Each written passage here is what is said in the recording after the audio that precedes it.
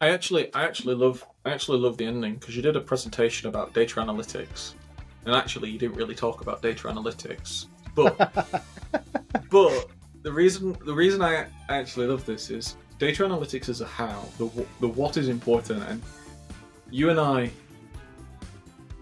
you and I know categorically that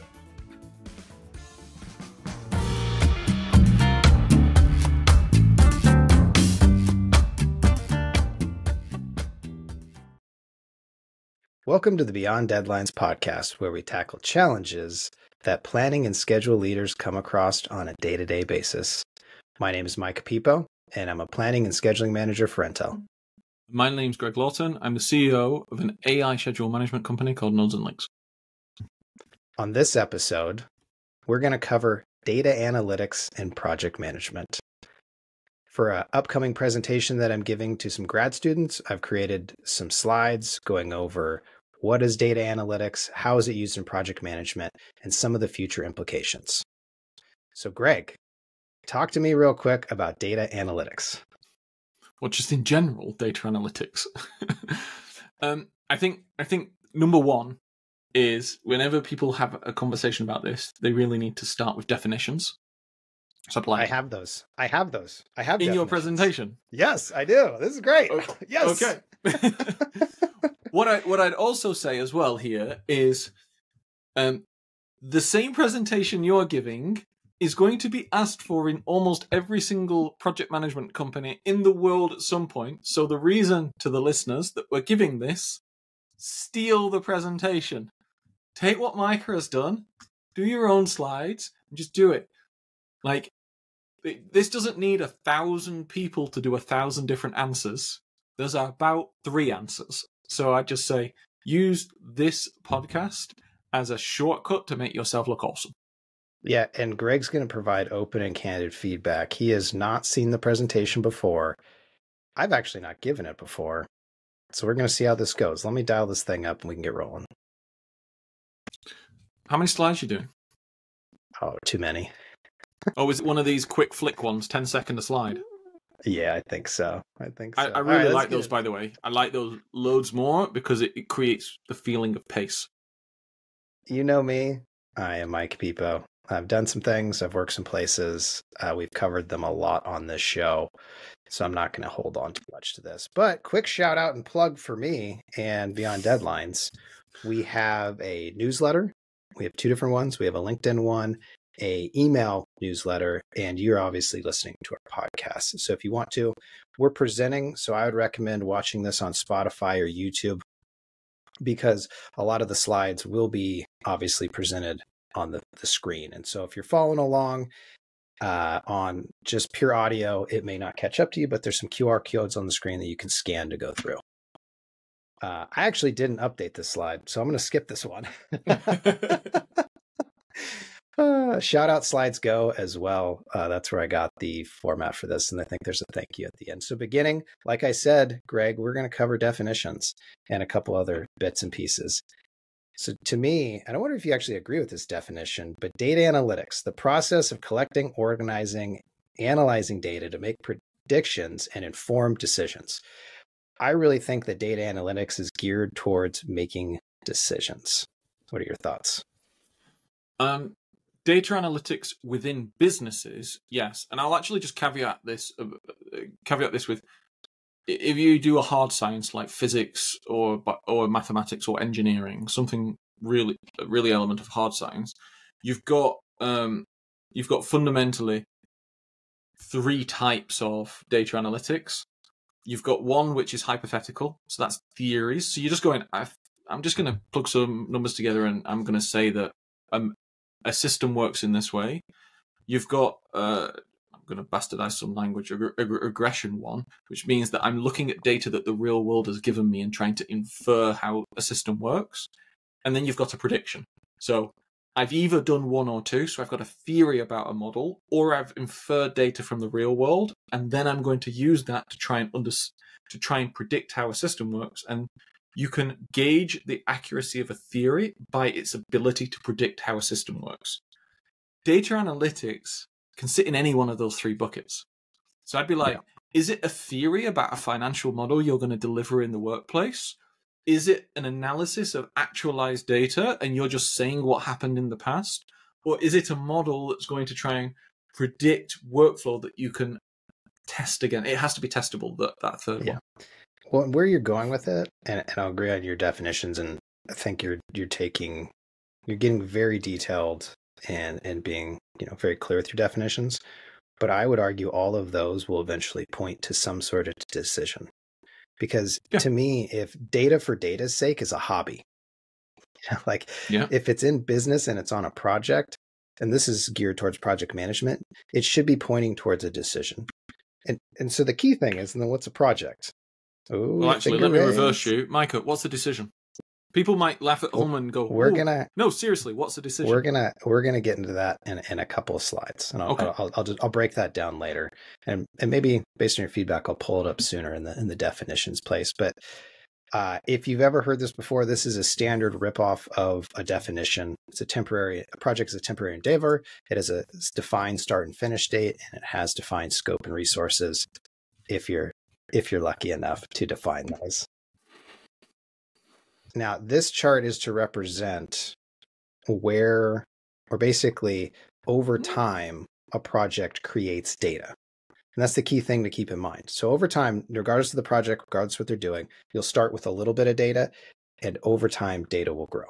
And that happens through cash flow, that happens through scheduling, quality, whatever it is. The if and how the data is used is dependent on what systems and processes people set up as they go through the project. And if you want to dial into specifically on a project, more where data comes from, I don't think you need to look any further than the 10 knowledge areas.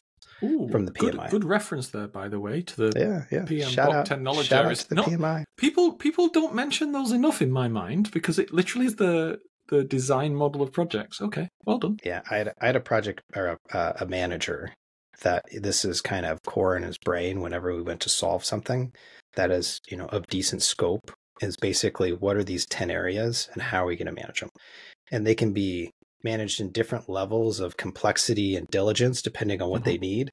But even on a small effort, so let's say, hey, I'm just going to create a new dashboard for this analytics things. Like, well, how are you communicating that? What's your communication plan? So I always really like this, but these are roughly, you know, if you look at a project where data can be generated from. Now, going back to your, and this isn't the definition of it, but I think how businesses and projects move forward are decisions. Decisions, and I get more into the detailed definition of this, drive action. So a decision is meant to drive action. And really at the root of that is to solve a problem. We'll get to that later. Shout out to Peter Drucker, by the way, effective executive. If you haven't read it, go out and read it. There's different types of decisions out there. And so they can be operational decisions. I'm not going to read all these, but essentially, there are a multitude of decisions that go down and my argument would be if you're going to spend a ton of time creating data analytics to impact decisions, you should look for the biggest and juiciest ones to probably attack for biggest impact.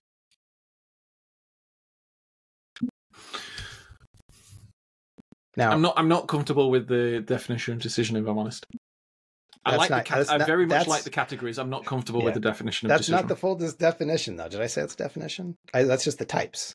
Well, not, why are you telling me types of decisions before you give me a definition? You know, because my slides aren't all the way in order. Because the first time. Okay, fair enough. Okay, let's keep going. I'd, I'd pull. I'd pull it to the front because it. I'm going know, my OCD is going yeah. going haywire right now. No, that's we always talk about on this uh, show. If you're going to present anything, practice it first. I just happen to be practicing it in front of you know hundreds of people. And Greg at the moment. Thousands actually. Thousands of people now. Thousands of people. There are dozens of us. So to like why uh why do we focus so much why am I focusing so much on decisions? Eh, I think they're core to the uh they're core to project delivery. And there are numerous things that lead to bad decisions makings. The biggest one to me is just bias in when you make a decision. There are hundreds of these biases out there. You can go research many of them. I've listed a couple of my favorite down here below. Mm-hmm. But essentially, if you're going to make the decision of whether we should start or stop this project, okay, you have inherent bias that you may be bringing to the table. For one, you may be a super optimistic person who thinks we can slam dunk every project. So, of course, we should start that project, right? you may be a person who I always delivered, I've delivered, always delivered my projects on time and nothing's actually ever wrong happened to them. And so I am unique in that aspect, but my uniqueness is why I think we should go deliver this project. And then the other one is like maybe like anchoring. So essentially the latest piece of information you received, oh, well, the last cash flow looked good and the last progress looked good.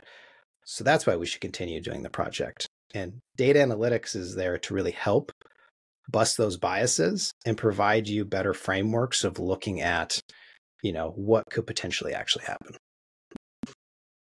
Data is here to save you.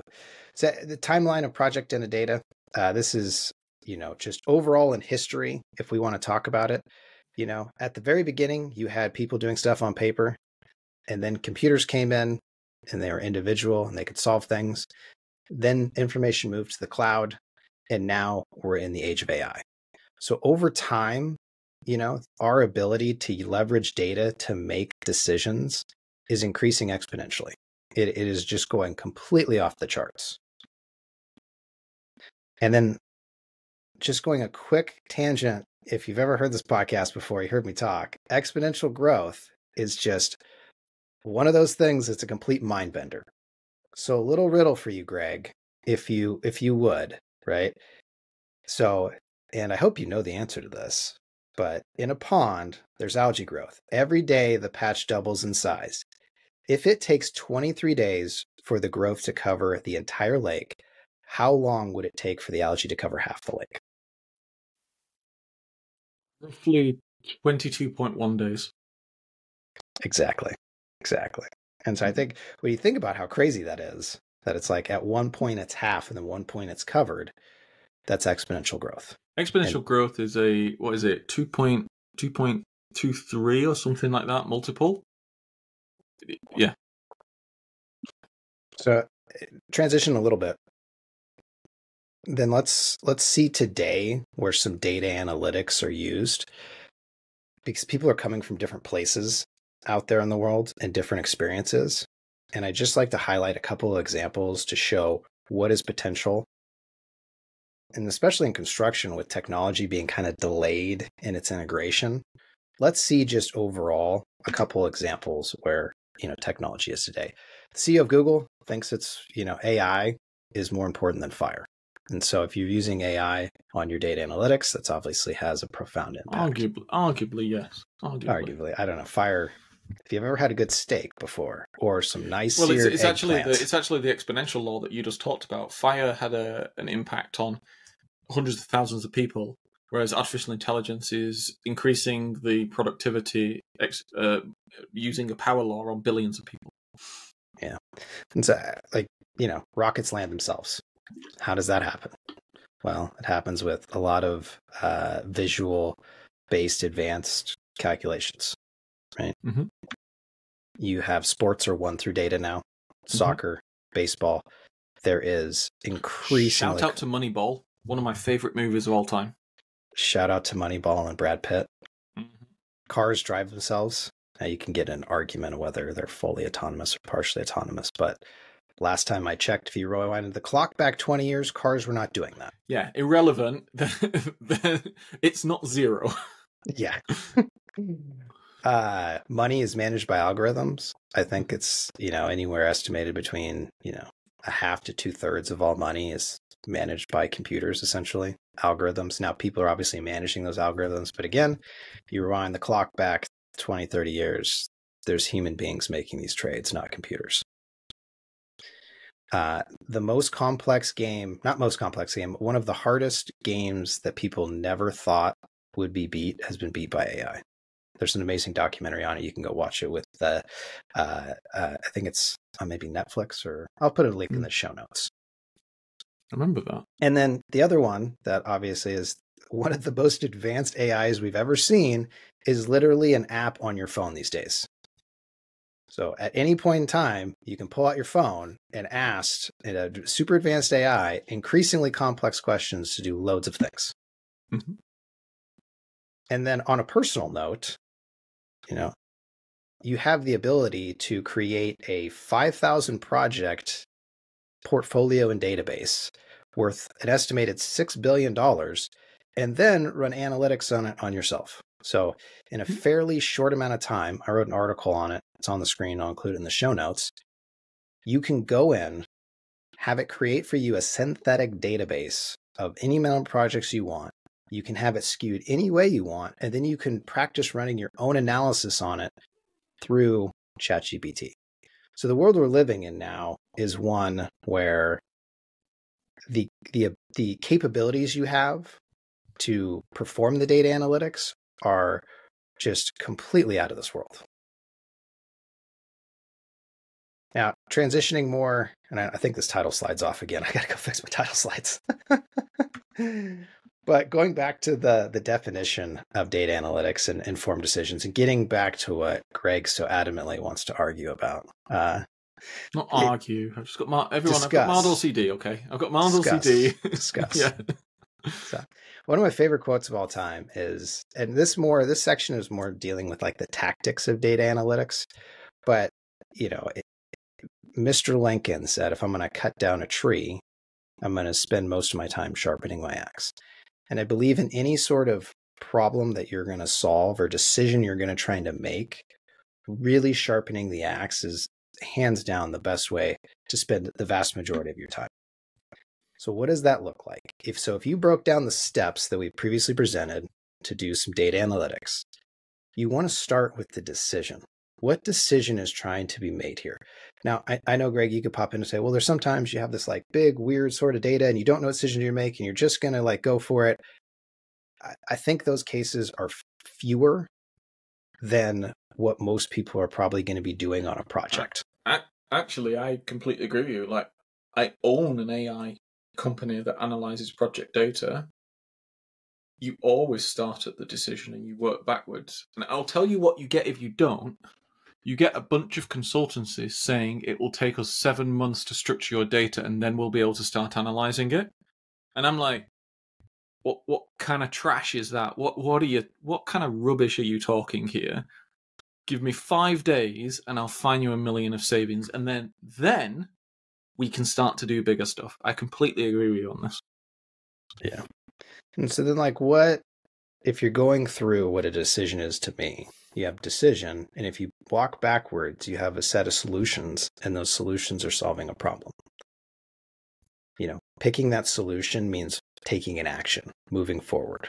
You know, if the decision is we want to set, uh, say, 5 million uh, out of the project, well, what are the solutions that are going to allow us to make that decision? Right? I'm going to select one, two, three, or five, and then there's obviously a problem behind that solution. And it, and you know, I guess if I wanted to redraw this, there could be problems behind each solution, but it looks better if you point it to one problem. There is a tendency, though, when you go try and find the problem, to stay at the surface level. And so to me, being really, really good at problem diagnosis is a super mm-hmm. important skill to have if you're going to do data analytics. So, you know, in any sort of issue that could come up, like let's say the team is missing deadlines in this example. Well, on the surface level, the symptom is, oh, well, they underestimate the work and their commitments. So, you know, if you're not going to go deeper than that, you could be like, oh, well, you know, maybe they need to be uh, incentivized to make better ones. Maybe they just need a software to solve them better. You know, maybe, uh, you know, whatever it is you could think of to go solve that symptom. But if you go down a step further, you find, hey, maybe the team doesn't actually know the scope of the project that they're estimating. That's why their estimating's bad. Mm-hmm. You know, mm-hmm. and so you got to keep digging, digging down until you really chisel out that problem and find like what is that hardcore defined root cause problem. And there's a couple different you know strategies for that. You can research these online. Five whys, cause analysis, fishbone. My favorite that I've kind of created is a pre-retrospective. And this one, mm-hmm. I love this one, is essentially uh, you have some issue or something that arise, and you basically say, hey, listen, if we go back in time you know, and say, how are we going to be successful next time? How do you then go work through that to ensure that this issue doesn't happen again?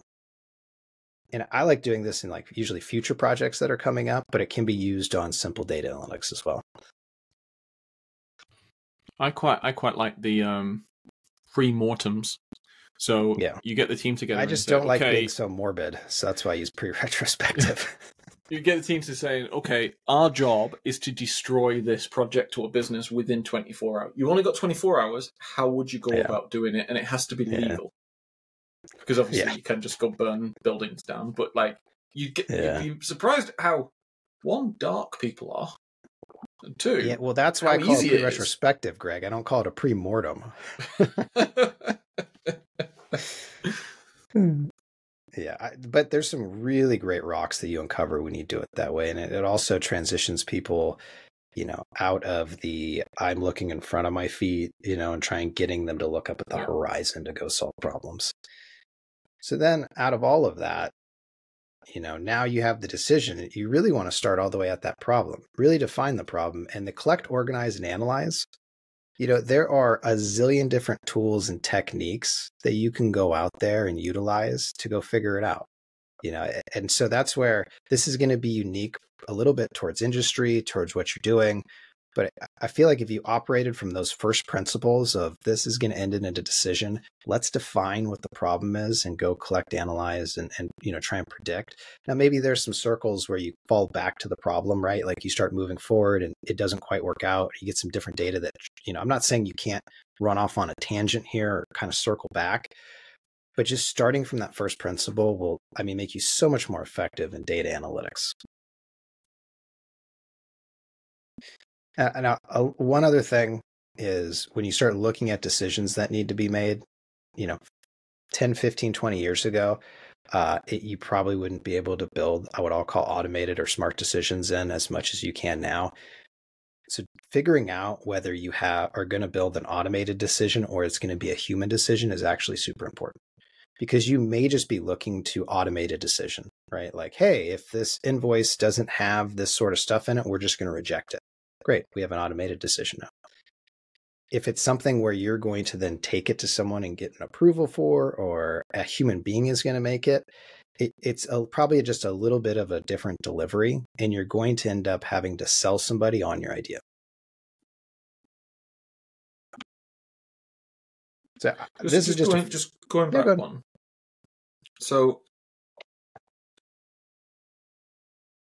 I, I understand. I understand the point of this, but I think there's a more poignant point, kind of underneath underneath the aspects, which is, um, there are decisions that matter and the decisions that don't, and I would, I think that's a very, that's a very important thing to note in this, especially when you're getting into data analytics. The decisions that matter are the decisions where you are allocating constrained resources, with constrained resources being calendar time, people's time, or money. And the the bigger the allocation and the more irreversible the allocation, the more strategic and important the decision. When people talk about strategy, what they in my experience, what they talk about is large resource allocation that is irreversible. So, for example, mergers and acquisitions. When you buy a company, you can't unbuy a company and get the, the cash back. Very Elon tried, he failed. Yep.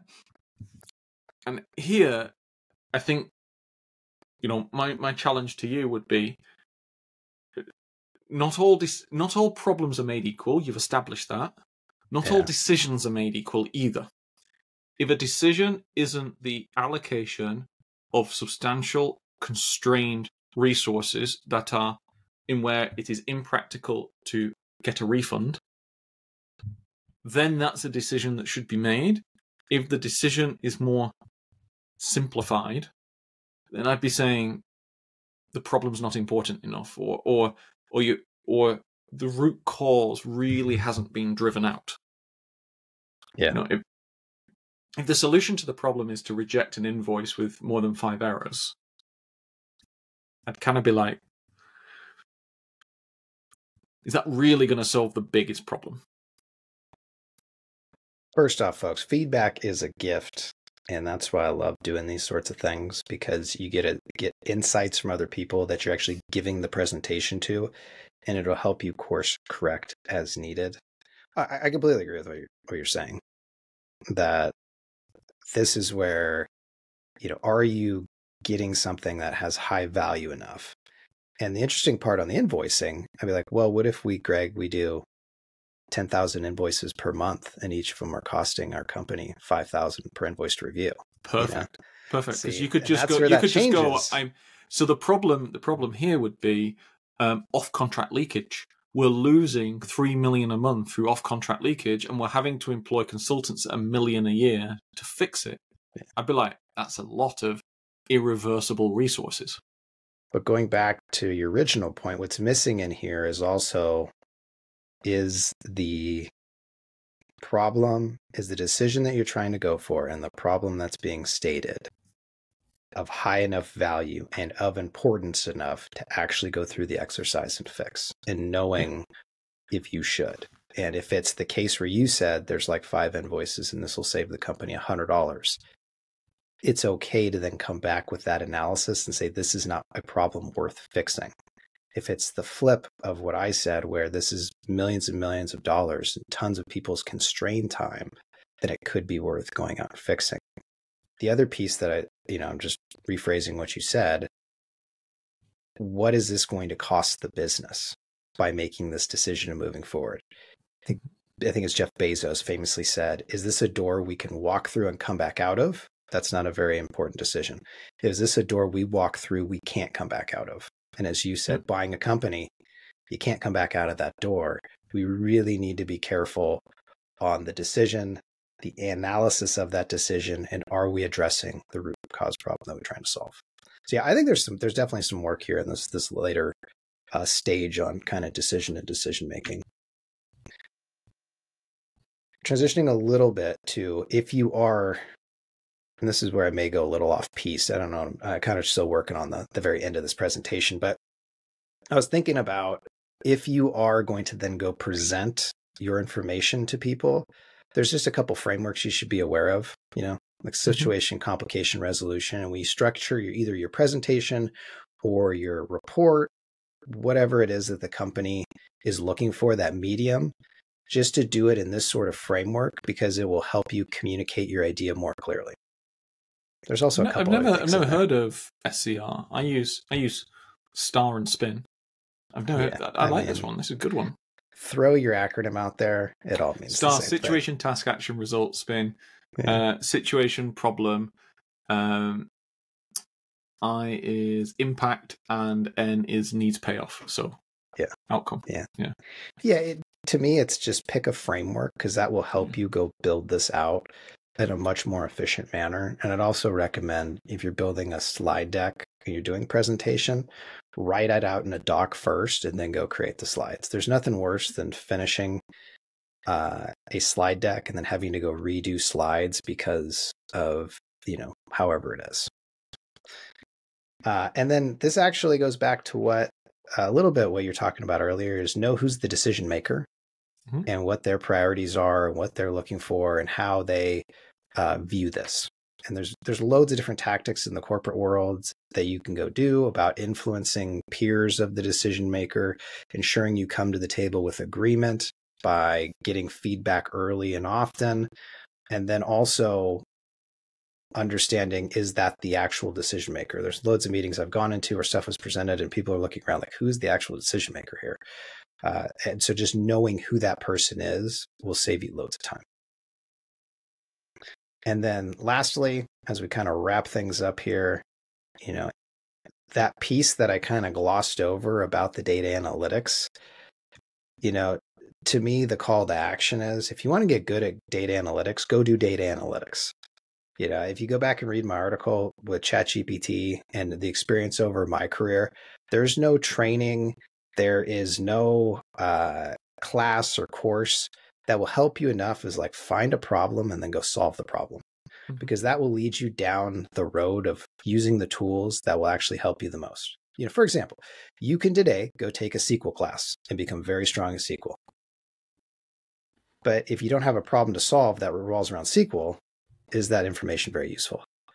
Or if you've learned all the basic kind of inputs and formats for it, and you go solve your problem, it's not there, you're not going to pick it up as a tool and make it very effective. And I think that goes for just about anything. So my encouragement to the audience and the crowd would be go build something. go do an extracurricular assignment. Okay?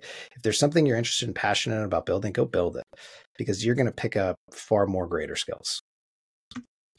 And then lastly, again, shout out to Slidesgo for the the slide deck uh, and all of the the help. So, Greg, we we've covered uh, the initial present. I would say draft one of the presentation.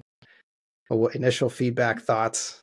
I actually, I actually love, I actually love the ending because you did a presentation about data analytics, and actually you didn't really talk about data analytics, but but the reason the reason I actually love this is data analytics is a how the the what is important, and you and I, you and I know categorically that we're in a very high bracket of earning, earners in our industry. We we've done very well. We we're not at the top yet, but we're very we're really not far off. And both you and I know that it is not it is not the specific ability to execute. So it is not the fact that you can code SQL that puts you in that bracket. It is the fact that you can find valuable things and develop solutions to fix them, including going and finding a person who knows SQL, paying them less than the problem's worth. And I actually think one of the core skills that a large amount of people fail to develop, which is what you know, constrains their earning potential, is this this problem focused thinking and decision focused thinking. Right, you and I know that when we deal with all of the, the SVPs and the VPs and the project directors, they're constantly just thinking, what is the decision I have to make here? And if there's no decision to make, I'm not really interested in knowing any of it. Yeah. So that I really like the end of the present. I really like the fact that actually you talked about how do how do you do data analytics? Actually, it's more a question of how do you find valuable problems. I think I need to do the the bottom line up front, the BLUF, and maybe make that my yeah. tagline instead of saving it for the uh, for the end. And that's the, that's university. Who are you presenting for. to, by the way? Uh, I think it's Boston University. Yeah, but I mean, like, what's the class? Like, who are the people? I mean, it's just an MBA class. Right. So it's people. It's people who can do numbers. Yeah. yeah. Cool. Right. Yeah. I assume if you're doing an MBA at Boston, you can probably count. Maybe you can even multiply. So yeah. you can do elements of data analytics. Fine. Cool. So, yeah. I, okay. Well, that was. I just had this epiphany the other day where I was. I'm trying to get. Uh, I have a weekly review thing, and instead of paying for some software doing it. I was like, oh, what if I just created a Google form that sent me the form and I punch in the weekly review? It goes into a spreadsheet and then uh, that's automated. So every week the form comes into my inbox and I don't have to think about it. And then there's some data churning on the back end that happens. And then also in my weekly review, I set out what are my next week's top priorities. Mm-hmm. And I want those emailed to me Monday and Tuesday because if I do my weekly review on Friday, I have a horrible memory and I will always forget what I said my priorities were for Monday and Tuesday. So I just get an email, look at it, okay, yes, those are my priorities. Using ChatGPT, it walked me through exactly how to use AppScript to build that. I literally just typed in my problem, copy and pasted, and now it works perfectly fine. I had tried to use AppScript for years. Google's, it's basically how Google's, for people who aren't familiar with AppScript, it's basically how Google products can talk to each other with a little bit of code. That blew my mind away to the point where I'm sitting there thinking about the how will become less and less and less difficult. That that mm-hmm. barrier to entry to run that Excel formula or create that thing will just become easier and easier and easier as these assistants be able to come to help you more and more and more. So then if that to me is the easy part, what's the hard part? And to me, it was on the other sides of the scale. What's the decision? What's the problem and the framework go to? So thank you for listening, Greg. I, I really also appreciate your your feedback on this. It's going to help me like improve my presentation. Being, I like that you're being kind. He's being kind, everyone, because we're uh, we're recording a podcast. He would still thank me, but he'd use more crude language if we weren't recording. Oh, never. Absolutely not. Absolutely not. Well, folks, that wraps it up for this week. We value your time, so we try to keep these sh- shows short and hard hitting. As I mentioned before, if you're liking this content, please hit the subscribe button. Please share with other people who may find these topics valuable. And feel free to reach out to us on LinkedIn and recommend any topic you'd like to hear. We've had several recommendations and we're trying to work through that list as we go forward. For us on Beyond Deadlines, thanks, and we'll see you again next week.